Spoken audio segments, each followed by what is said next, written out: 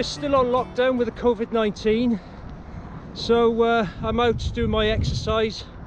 And while I'm out here I'm going to stop and pick some common hogweed I'm going to take it home boil it up for no more than 10 minutes. And I'll tell you what it tastes like and the texture.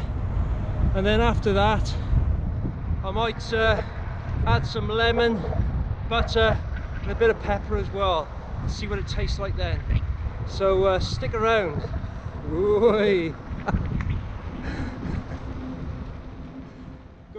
Okay that's what common hogweed looks like and it is really common. It grows everywhere in the UK I'm not sure about Scotland. I, have never been there so uh, but anyway there's the stalk and that's what it looks like at the back.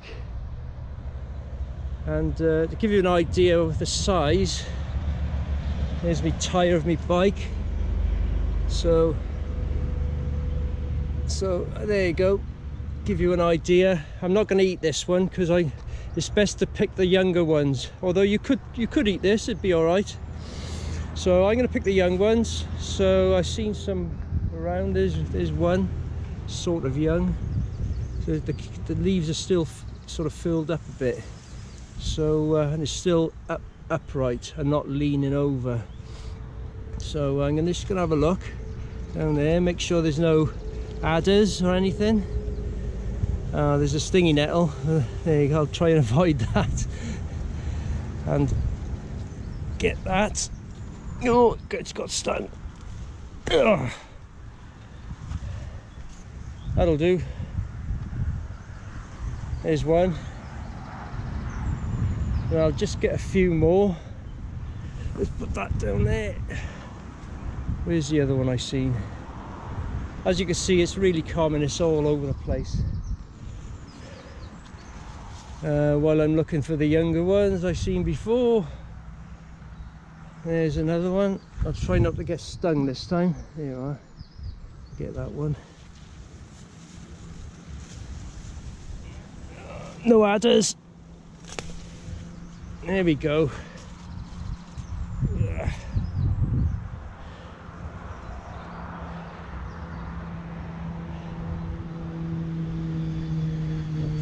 That. And I'll just get a few more. There's another one there, straight away on it.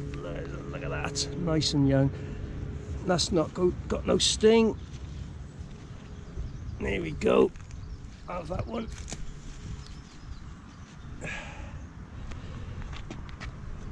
There we go. I'll get a few more and I'll get them in my bag and then uh, I'll take them home.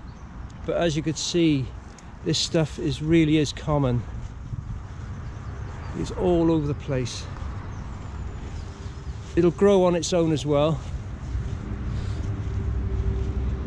And it's a nice spring veg. Anyway, I'll get some more and uh, the only thing is don't get don't get it mixed up with um, giant hogweed which grows near rivers and uh, the stalk is like thick like that. It grows to about 10 feet. And uh, the leaves are like bigger than my bike wheel. So, uh, they're really big. So there's no mistaking really. It's got purple blotches as well I think. But uh, yeah but don't get mixed up with that one. Okay I've got enough. So uh, I'll get that in my bag now. And then uh, take them home and cook them up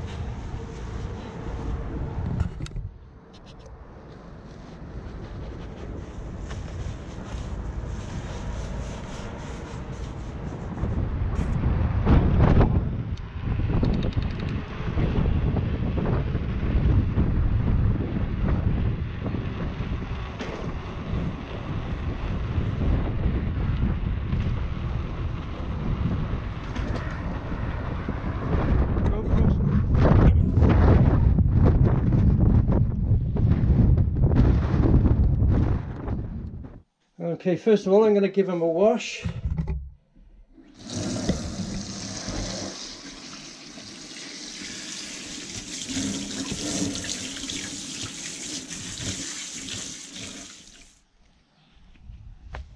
Right, first of all, I'm going to set my cooker up. Now, this one I'm using today is my homemade Trangia cooker, which uh, I've done a separate film on that, on how to make it. So, uh, I'll just set that up. And also I've got my 18 centimeter uh, Trangia frying pan and the chopping board. And I've also, this time I've, I've, I've added the Life Venture titanium plate as well.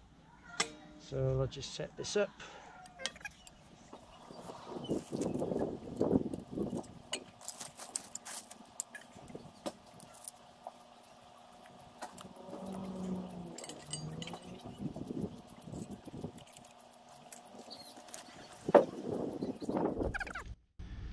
Right, now I've got the cooker set up on the flat. Uh, I think I'll light it and then start chopping the veg up then. So let's get this. Let's get the get the pressure up to this a minute. Yep. A bit squirted out.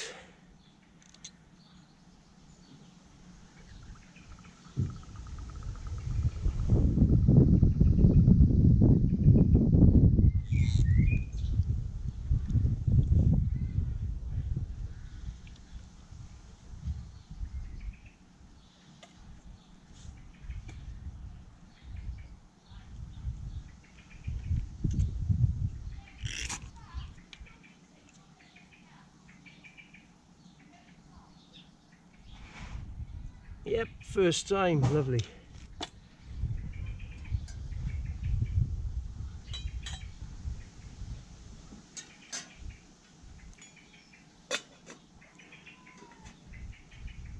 Okay, now I'm going to chop this up. Oh, I haven't got a knife. I'll have to come back.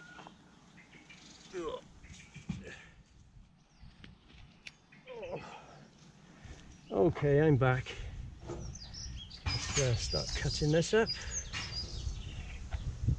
Bite-sized pieces. Oh, now all this stuff I'm using, it's all from my rucksack. There's nothing from the house. You can, all, you can carry all this in the rucksack.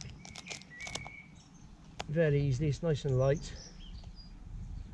Very small and compatible compatible? Wrong word.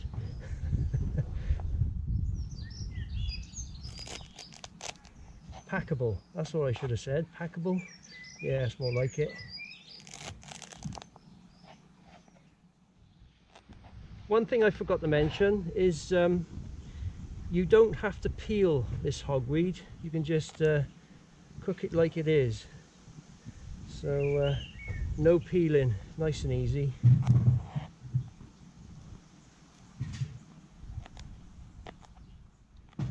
Right, now I've chopped it up, stick it in the pot.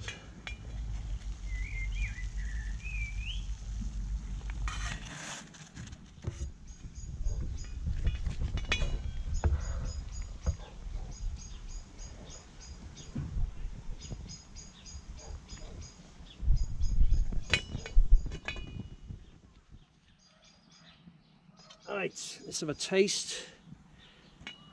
I've been boiling it now for just under 10 minutes. So let's try and get a big piece. There we go, nearly got it. There. There we go. Mmm, nice and soft. So uh, I'll get that on a plate and I'll explain what it tastes like.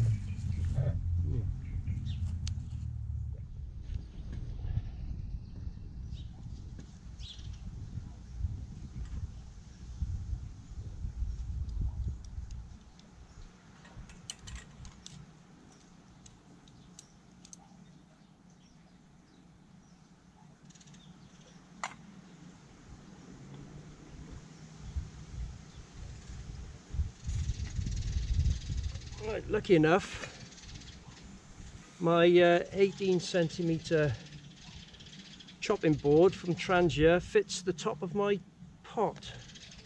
Just like that, lovely. I'll just strain this out.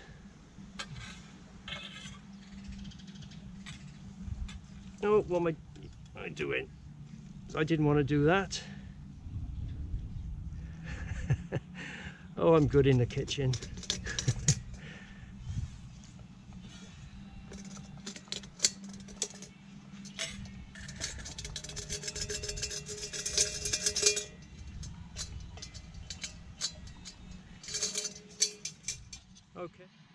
Okay. It's nice and soft and I don't know whether you can see that I don't want to tip it out. And it tastes very vegetably like um, like like sprouts in a way. Not quite but sort of sprouty but better.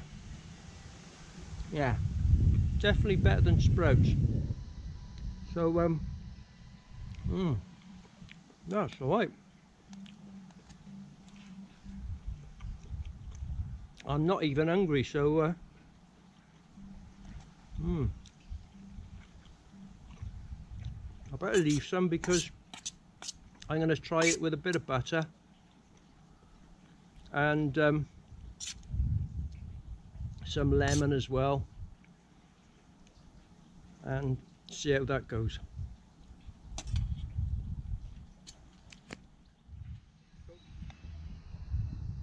I'm just going to light the, uh, melt the butter a bit.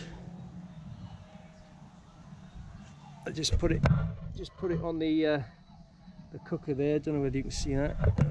And I'll just get some lemon on. I have this for a cup of tea in the morning. That'll do.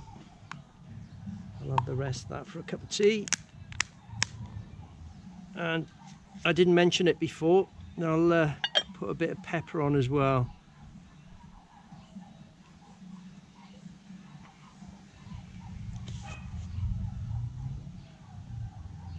blow it away. And again. Oh, I don't want to put too much on, I might mess it up. That'll do. Alright, let's just get this melted butter.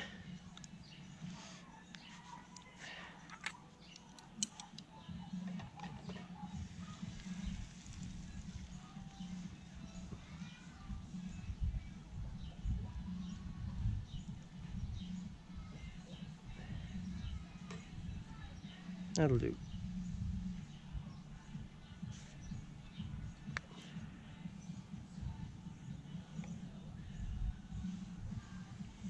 That'll do. Let's get this fire out again.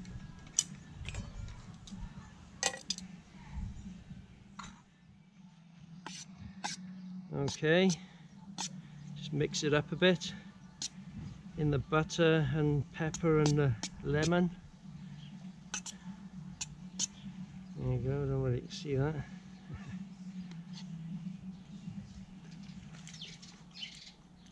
Mmm. Oh, it's lovely. Mmm.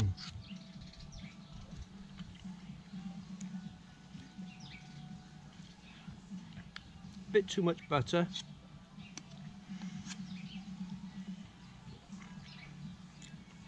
Not enough pepper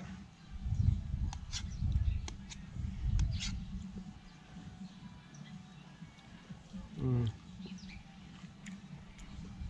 lemon's about right um, yeah wow it's real nice mm.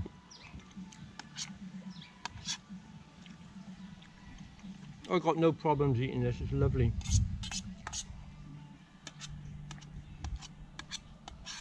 Anyway you don't want to watch me eating this so uh, I'd just like to say thanks for watching.